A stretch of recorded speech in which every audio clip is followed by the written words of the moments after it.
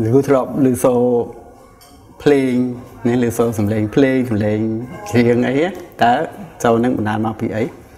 បាទខ្ញុំធ្លាប់ឮសូរហើយសូរហ្នឹងគឺកើតឡើងដោយសារតែឧបករណ៍អ្វីមួយញ័ររហូតដល់មានហ្វ្រេកង់មួយគ្រប់គ្រាន់ទើបយើងអាចឮសូរបានណាទៅដល់ហ្វ្រេកង់មួយដែលដែលដែលតិចយើងអាចស្ដាប់ឮណាទៅបានយើងបានហើយនៅក្នុងផ្ទះគឺដែលបើកមួយញ៉េអីបើកមួយញ៉េដែលមានធុងបាយបើកលើសូរ ខ្លាំងតែលោកគ្រូសង្កេតឃើញអីបើយើងមានកែវទឹកមួយដាក់នៅលើតុអីណាមួយតែយើងសង្កេតឃើញអីឃើញកែវទឹកនៅមិនដែរបាទប្រសិនបើយើងបើកម្ញេខ្លាំងទៅហើយយើងដាក់កែវទឹកនៅក្បាលនោះយើងសង្កេតឃើញថាកែវទឹកនោះវាញ័រញ័របាទវាមានលំញ័រហើយដឹងថាហេតុអីបានយើងបើកអីនេះសោះទុំបាញ់សោះគេថាញ័រឲ្យកែវទឹកនៅលើតុនោះដែរ ខ្ញុំមិនដឹងថាមូលហេតុអីដែរប្រហែលជាបងពីធុងបាសមកទៅណាធុងបាសហ្នឹងវាជាអ្នកធ្វើឲ្យញ័រណាបាទបាទចឹងប៉ុន្តែយើងមិនដឹងញ័រយ៉ាងធ្វើយ៉ាងម៉េចណាបាទបាទអញ្ចឹងដើម្បីនឹងបង្ហាញពីហេតុអីបានជាកែវទឹកដែលយើងដាក់នៅឆ្ងាយពីធុងបាសហើយវាញ័រដែរហ្នឹងវាធ្វើពិសោធន៍មួយបាទពិសោធន៍មួយទៅមួយនឹងពិសោធន៍ដែលបង្ហាញឲ្យជាក់ថាថាហេតុអីបានកែវទឹកនឹងញ័របាទបាទណាអញ្ចឹងនៅក្នុងពិសោធន៍របស់យើងយើងមានប៉ោលនេះហៅប៉ោលបាទប៉ោលមួយដែលជួរទៅនឹងកូនទម្ងន់នេះ គេហៅថាប៉ោល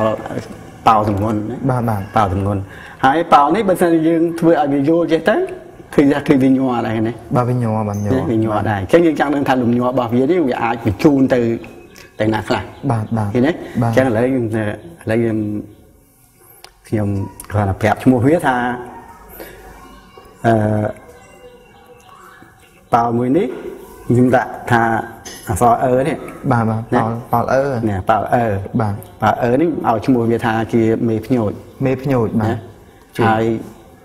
ប៉ោលមួយនេះទៀតខ្ញុំដាក់វាអក្សរអែនេះនេះអក្សរបាទអក្សរ A បាទនេះអក្សរអែខ្ញុំដាក់វាឲ្យឈ្មោះវាថាជា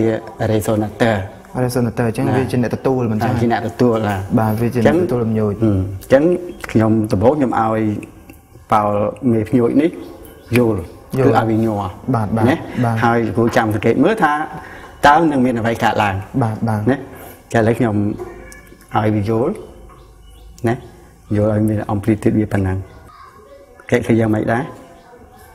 ខ្ញុំសង្កេតឃើញថាក្រោយពេលដែលប៉ោលអឺនេះចាប់ផ្ដើមយល់បាន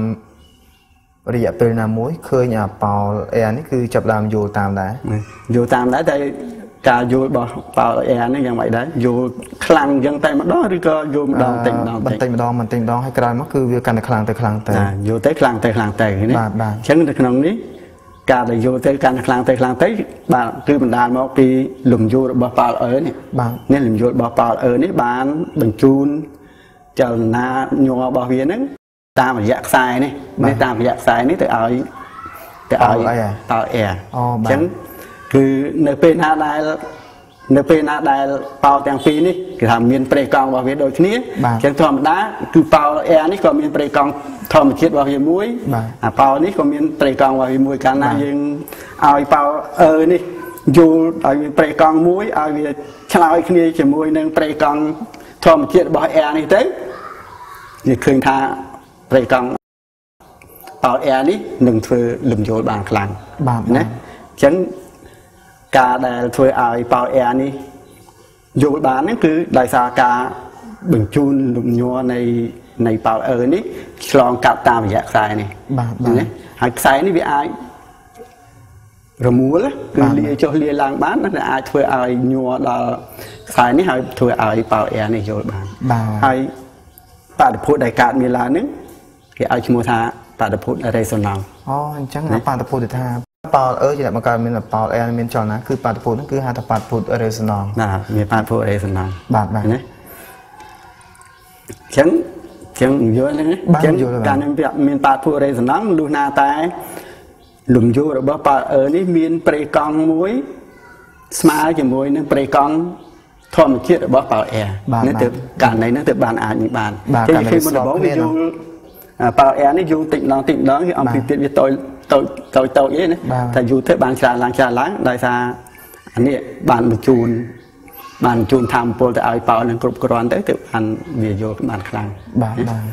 មានបាត់ពួក resonance នៅកើតមានឡើងបាទឥឡូវបើសិនណាជាខ្ញុំនិយាយគឺថានេះម៉ាស់ម៉ាស់ប៉ោទាំងពីរនេះយ៉ាងម៉េចប៉ុនគ្នាប៉ុនគ្នាណាឥឡូវបើខ្ញុំបន្ថែមម៉ាស់នៅលើប៉ោអឺ ថែមម៉ាស់នៅលើប៉ោអឺអញ្ចឹងទៅប៉ោអឺនេះមិនដែរប៉ោអឺគឺកាន់តែធ្ងន់ម៉ាស់ធ្ងន់ណាធ្ងន់ច្រើនតែធំមកធ្ងន់ធ្ងន់ជាងតិចអីច្រើនបាទច្រើនបើយើងប្រៀបធៀបទៅគឺធំជាងធំជាងច្រើនណាទៀតបាទអញ្ចឹងគឺធំជាងជាង2ដង3ដងណាបាទបាទអញ្ចឹងនៅក្នុងករណីនេះខ្ញុំធ្វើដូចមុនអញ្ចឹងបាទធ្វើដូចមុនយល់ប៉ោអឺនេះទៅតែព្រោះគិតថាបាតុភូតនេះនឹងកើតឡើងដោយករណីទី1ដែរឬយ៉ាងម៉េច បាទបើតាមយើង សង្កេតពីអាលំយោលើកទី1ហើយបើមើលមកទី2ខ្ញុំគិតថាប្រហែលជាវាយោដូចគ្នាទៀតពីព្រោះយើងឲ្យវាអឺនេះមានលំយោប្រកបជាញ័រតាមខ្សែនេះធ្វើឲ្យខាងនេះគឺយល់ដូចគ្នាដែរហ្នឹងហើយបាទព្រោះថាយើងលំយោនេះអាចបញ្ជូនតាមរយៈខ្សែនេះហើយធ្វើឲ្យប៉ោនឹងតើយល់តែនេះនឹងអាចកើតមាននៅបាតុភូតរេសណងនឹងបានណាបាទខ្ញុំដឹងថាថាបើជាអាចបានណាអញ្ចឹងលើយើង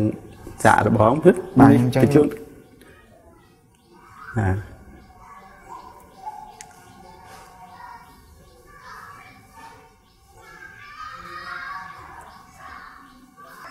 ចឹងគេឃើញកាលណានិយមទៅវាបានបញ្ជូនបញ្ជូនធម្មពលទៅឲ្យប៉ោនេះមុនដំបូងនេះទៅឲ្យប៉ោនេះឲ្យប៉ោនេះនឹងយល់ដែរប៉ុន្តែការយល់របស់ប៉ោអែយ៉ាងម៉េចដែរបាទ ក្រោយពេលដែលខ្ញុំសង្កេតមើលឃើញថាការយល់របស់ប៉ោលអែគឺมันបានខ្លាំងដូចជាលើកមុនទេ នៅពេលដែលចាប់ផ្ដើមយល់មួយសន្ទុះមកហើយតែប៉ោលអែនៅតែយល់តិចតិចដដែលយល់តិចហើយ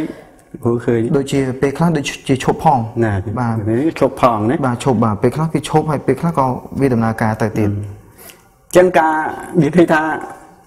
បើម៉ាស់របស់ប៉ោលអឺនេះធំយឺថាបញ្ជូនទៅតើឲ្យប៉ោលអែនេះយល់ដែរប៉ុន្តែ មិនមែនយល់យល់ដែលមានប្រេកង់ថេណាបាទបាទយល់ដែលមានប្រេកង់ថេគឺយល់ឈប់យល់ឈប់បាទយល់ឈប់គឺឈប់តែម្ដងយល់ឈប់ឲ្យបានយូរតទៀតបាទបាទបាទអញ្ចឹងអាការយល់ឈប់យល់ឈប់នេះមិនមែនមិនមែនជាចលនាលំយល់នេះមិនមែនជាចលនាលំយល់របស់របស់ប៉ោលទេបាទបាទឃើញទេគឺហេតុអីបានជាយល់ឈប់យល់ឈប់អញ្ចឹងអាច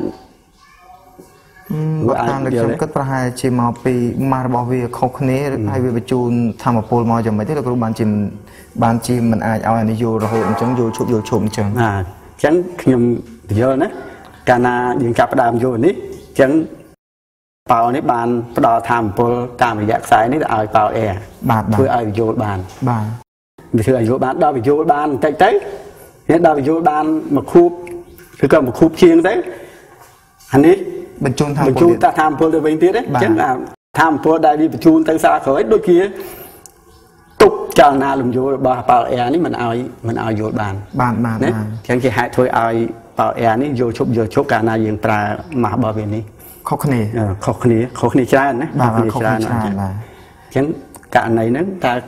មិនអាចសន្និដ្ឋានថាអាចកើតមានបាតុភូតរេសណងនឹងកើតឡើងបាទក្នុងករណីនេះគឺมันអាចកើតមានបាតុភូតរេសណងទេដោយសារតែប៉ោលអីអានេះគឺវាយល់ឈប់យល់ឈប់យល់ឈប់បានវាអត់យល់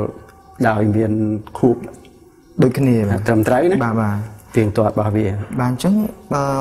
បងវិញអញ្ចឹងបាតុភូតរេសណងកើតឡើងលុះត្រាតែប៉ោលទាំងពីរហ្នឹងមានម៉ាស់ដូចគ្នាมันអាចកើតបាតុភូតរេសណងបាទតើមានម៉ាស់ដូចគ្នាយើងម៉ាស់ដូចគ្នាប្រវាយខ្សែហ្នឹងដូចគ្នាដែរម៉ាស់គ្នាដែរដើម្បីឲ្យវាធ្វើយ៉ាង គឺលេតម្រូវយ៉ាងណាដើម្បីឲ្យប្រេកង់របស់ប៉ោលអឺហើយនិងប៉ោលអែនគឺមានប្រេកង់វាមានប្រេកង់របស់វា